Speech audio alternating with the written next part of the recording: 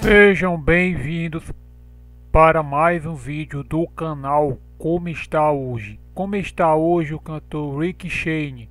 George Albert Tabet é um cantor francês famoso nos anos 60 com as músicas Mami Blue e Uno de Mods.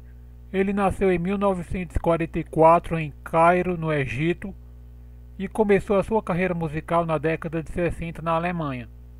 Em 1971, Rick Shane atingiu o auge de sua carreira musical com a música Mami Blue, que ficou no topo das paradas de vários países do mundo. No Brasil, a música foi bastante tocada nas rádios. Além de cantor, Rick Shane também apareceu cantando em alguns filmes alemães.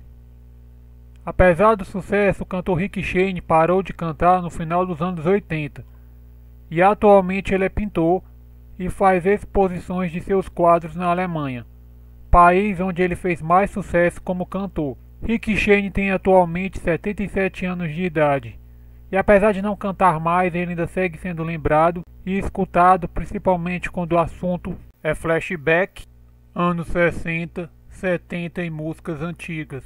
E você o que acha? Comente aqui no canal.